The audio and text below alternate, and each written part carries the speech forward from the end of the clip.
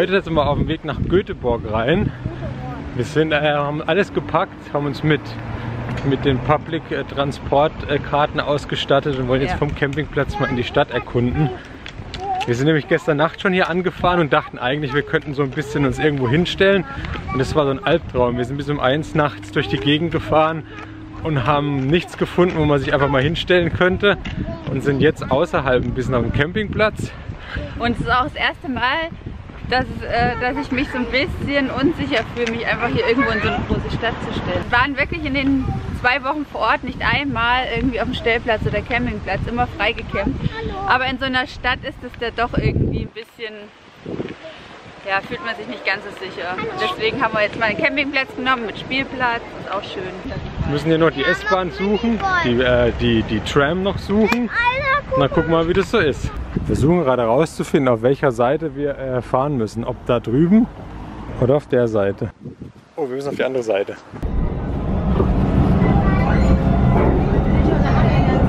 Also das war ein sehr holpriger Start. Wir standen natürlich auf der falschen Seite vom Gleisen. Anna musste noch mit mir über die Schiene rennen. Dann ist Anna Louis noch hingeflogen und wir sind gerade in die S-Bahn reingekommen. Äh, kann nur besser werden. Jetzt sind wir auf jeden Fall in der richtigen Bahn auf dem Weg zur Central Station. Für die Kinder ist die Fahrt in der S-Bahn hier schon die Hauptattraktion gerade. sind total begeistert. Gucken, was alles draußen los ist. Ist auch nicht schlecht, man kriegt schon mal so einen ersten Eindruck immer von der, von der Stadt. Katrin ist bei uns der Navigator. Und ich stehe meistens nur nebendran und hoffe, dass er bald herausgefunden hat, wo es hingeht. Weil so Karten und so sind nicht meins. Was ist deine Aufgabe? Film. Ah ja. Ich muss diesen tollen Film hier erzeugen. Ah ja. Die Karte abfilmen zum Beispiel. Ist auch nicht schlecht mit dem Paddelboot. Der Wagen ist selbstständig. Der fährt ganz von alleine. Komm her, Kinderwagen, komm. Toll, oder? Guck mal, der kommt alleine hierher. Stopp, stopp, stopp. Siri, stopp. Okay, Siri, weiterfahren. Das funktioniert echt gut, diese neuen Kinderwagen mit Selbstlauffunktion. Doch nicht ganz. Aber man muss schon sagen, die Schweden sind schon ein sehr gut aussehendes und gut angezogenes Volk. Also egal wie man hier sieht, sind immer gut angezogen und äh, immer, immer schick. Egal ob Freizeit oder Business. ut emot havet och resten utav världen. Den här lilla senare, the most, uh, what's the biggest post office in the world? Another... Så, vi är ute på kanalen. We're out on the canal. Om vi kollar till egen hög person som står och pekar ner på någonting.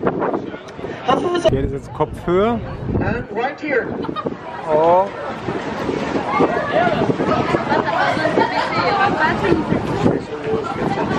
Här utbildade man även eh, Finlands första kvinnliga matros. Precis.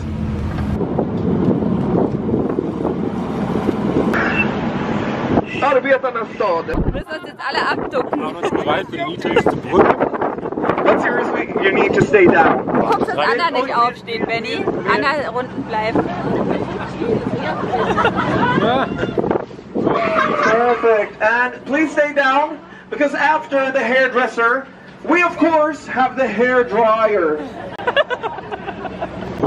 Da geht eine sehr schöne Stadtrundfahrt äh, zu Ende. Also ich muss sagen, Göteborg ist definitiv eine der schöneren Städte. Ganz tollen Flair, tolle Architektur und äh, richtig chillig hier. Ich weiß gar nicht mehr, wie das Video gestern aufgehört hat, ehrlich gesagt. Wir waren in Göteborg auf jeden Fall. Äh, war super schön, also eine ganz entspannte Stadt am Wasser. Sehr chillige Leute, sehr schicke Leute. Ganz coole Bars, also so eine Stadt, wo ich mir echt, äh, könnte ich mir echt vorstellen, dort zu wohnen. Das ist schon so am Wasser auch, also richtig, richtig coole Stadt, lohnt sich auf jeden Fall anzugucken. Jetzt machen wir gerade unser Wohnmobil sauber. Äh, Katrin ist duschen, die Kinder spielen äh, hier drüben auf dem Spielplatz. Wir haben einen super Platz hier erwischt, also wir haben uns direkt äh, gefragt, ob sie neben Spielplatz einen Platz frei haben. Und äh, deswegen kann man direkt hier drüben die Kinder spielen lassen. Das ist eigentlich das Beste, was man machen kann auf dem Campingplatz. Direkt am Spielplatz zu buchen, zumindest mit Kindern. Und ja, jetzt machen wir noch ein bisschen sauber. Aber es ist echt praktisch. Es ist echt praktisch, äh, wie schnell man so ein Wohnmobil sauber gemacht hat. Weil man hat irgendwie nur gefühlte 4 Quadratmeter Bodenfläche, die man durchkehren muss.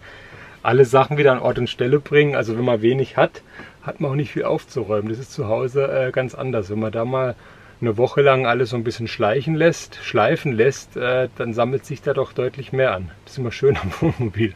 Geht fix. Das sind übrigens hier die Kunstwerke von unserem Urlaub bis jetzt. Falls sich jemand wundert, die haben wir hier so dran gemacht. Äh, irgendeinen regnerischen Tag sind die Kinder. Ist Moritz kreativ geworden. Der malt ja eigentlich nie. Aber plötzlich hat er angefangen, hier ein Bild nach dem anderen rauszuhauen. ne, hat wirklich so die Urlaubsstation nachgemalt. Fand ich eigentlich ganz süß. Hat irgendwie einen Steg mit, äh, mit Sandkorb gemalt hier.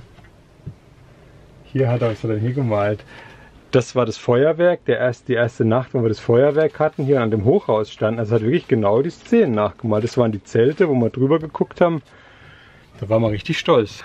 Jetzt machen wir noch fertig, schnell sauber. Ich will dann auch noch duschen, die Kinder noch duschen. Äh, Checkout sind wir sehr knapp dran. Also wir sind schon wieder jetzt eigentlich schon Checkout-Time, aber so eine Stunde äh, haben die da immer noch gut Toleranz. Deswegen müssen wir jetzt ganz schnell duschen und dann los Richtung Malmö schon wieder, weil morgen Nachmittag unsere Fähre fährt nach Deutschland schon wieder. Da ist es schon wieder vorbei. Und unterwegs wollen wir noch äh, so eins, zwei Punkte vielleicht anhalten. Wichtig ist, dass die Annaloni heute Mittagsschlaf macht, weil die ähm, ist leider ein bisschen krank geworden. Der hat jetzt Schnupfen seit gestern und Halsweh gehabt. Deswegen der wird es mal gut tun, wenn sie heute während der Fahrt dann mal ein, zwei Stunden schlafen kann, dass sie sich ein bisschen erholt. Und dann sind wir morgen Abend schon wieder in Deutschland. Morgen Nacht um eins. Naja, so schnell geht es manchmal rum.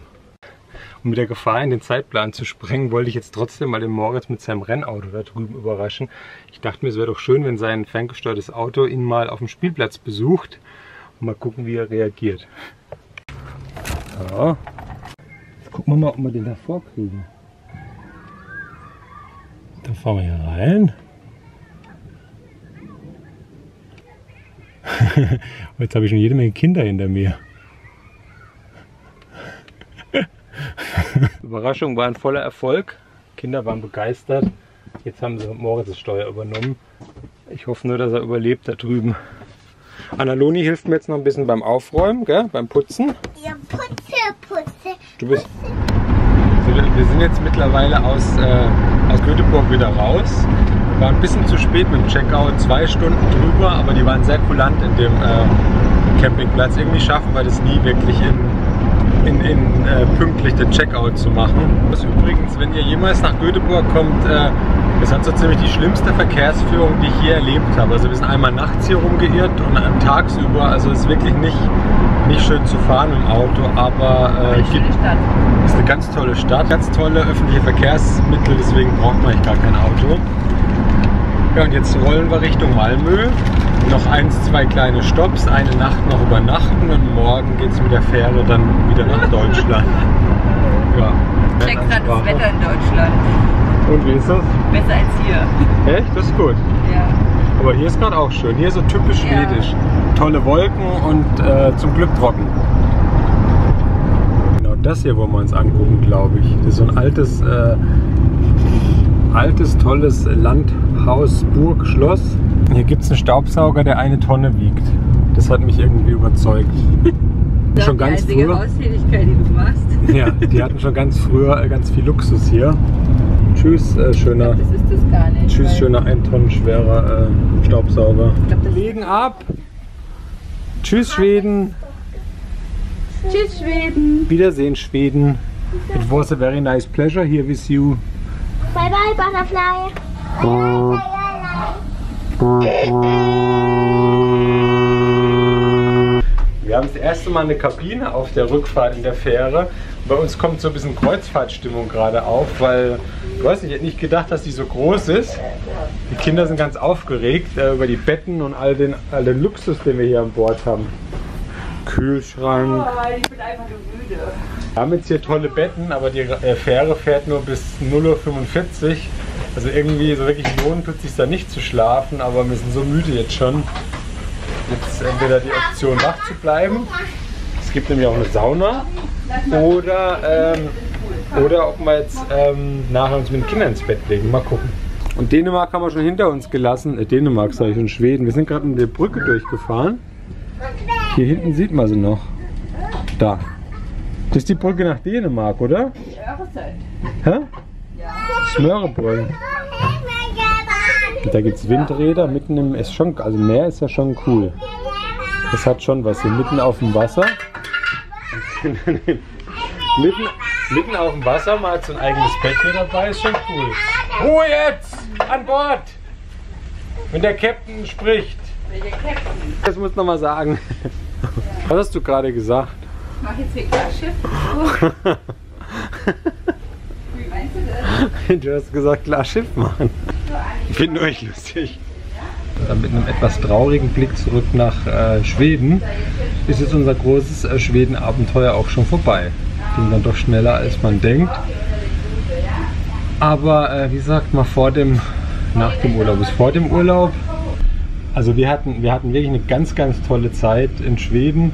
So zusammengefasst würde ich sagen, äh, das Schönste an Schweden war die Menschen. Die also waren unheimlich nett, kinderfreundlich, offen. Ganz irgendwie ein ganz toller Schlag Leute. Ob Schweden das schönste Land der Welt ist, wie es schon die Ärzte früher gesagt haben, ähm, lässt sich streiten, aber es ist schon mit ganz vorne dabei auf unserer Liste auch. Haben wir hier einen Feueralarm?